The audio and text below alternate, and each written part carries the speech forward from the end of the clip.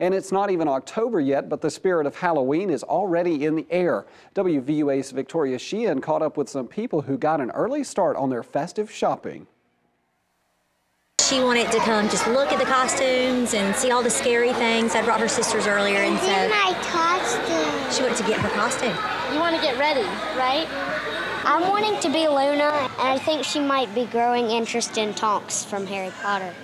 Even before they could finish stocking the shelves, employees at Tuscaloosa's Spirit Store say shoppers were chomping at the bit to get started on their Halloween season.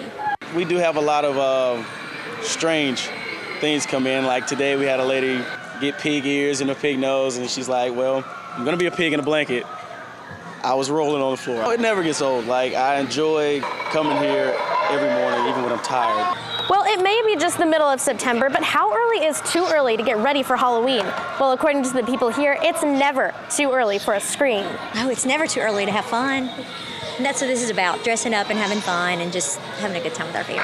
There's no such thing as too early because even when you got what you have already, there's always time to get more.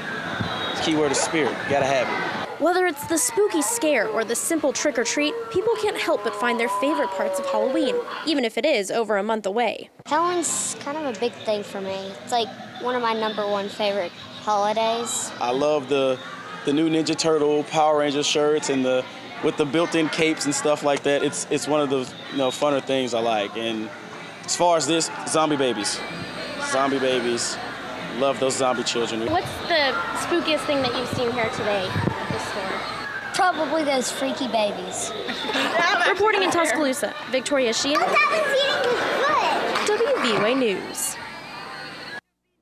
Donations made at the Spirit Store in Tuscaloosa will help benefit Birmingham's Children's Hospital.